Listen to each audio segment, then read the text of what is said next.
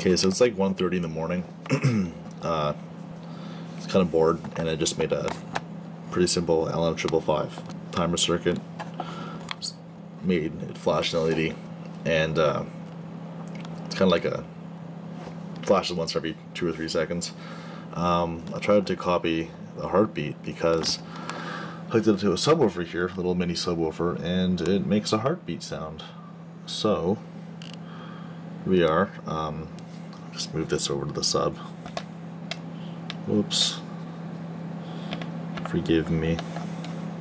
Okay.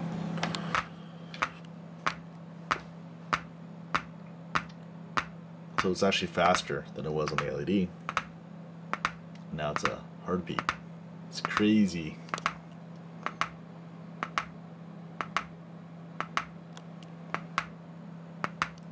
And see power supply switching from constant current to constant voltage. So eventually just slows down and stops and sits in constant current. Um, so I'm just going to put in a filter capacitor to filter out the DC. Just lets the square wave through, th square wave through from the LM555, and now it matches the frequency before that it was on the LED. And then take it off, and we are back to that rapid frequency change and the heartbeat again. Now, the cool part here though is after that does that for a bit, you can plug it back in to the LED and you'll notice that the LED does not come on right away. It actually just kind of fades in.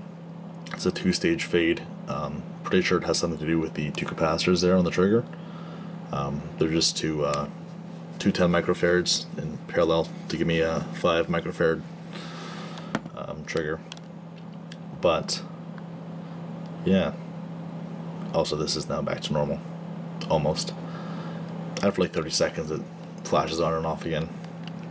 But yeah, that's it. Okay, bye.